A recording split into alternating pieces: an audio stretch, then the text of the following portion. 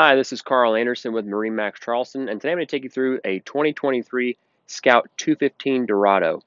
Starting off with the transom, this boat is powered with a Yamaha 150 four-stroke with digital throttle and shift.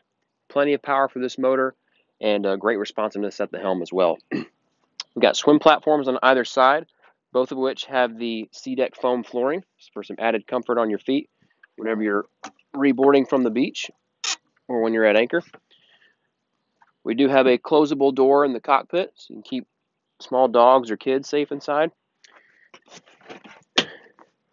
Nice bench seat at the cockpit as well to really uh, fully finish out this cockpit seating area.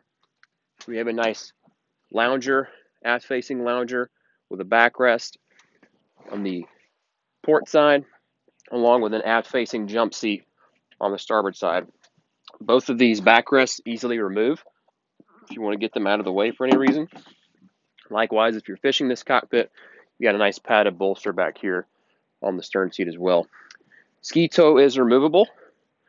Um, got rod holders, cup holders, and recessed cleats, along with your live well on the port side aft. Also makes for a great cooler or a trash can. Bilge access is located beneath my feet here. Got the bimini top for some added shade on those hotter summer days.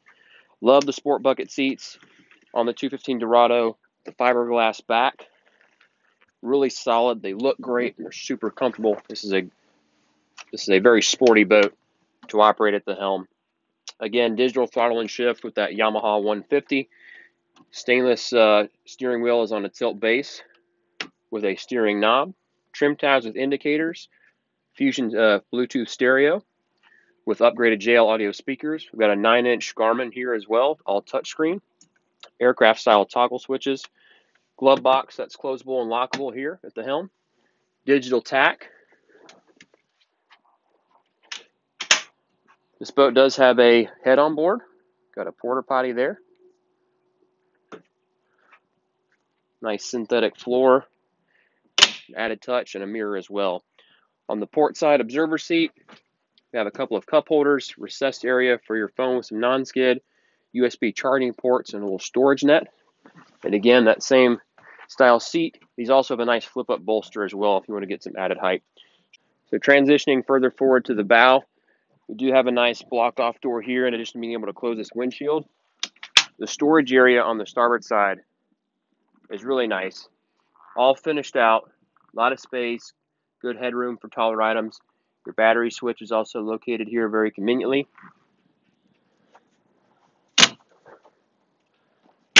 And then your bow area, very comfortable space. You got U-shaped seating, nice tall deep backrest, very comfortable, safe and secure. You have fold down armrests on both sides. We do have the filler cushion in place. So nice uh, one big sun pad here. Again, the JL audio speakers are inlaid into the cushions. Got cup holders up here in the foredeck and a couple more hmm. back just on the other side of the windshield. Anchor locker is stowed here. Got another recessed cleat area. This is all non-skid for some added safety. If you were to throw a casting net off this area or if you were approaching the dock.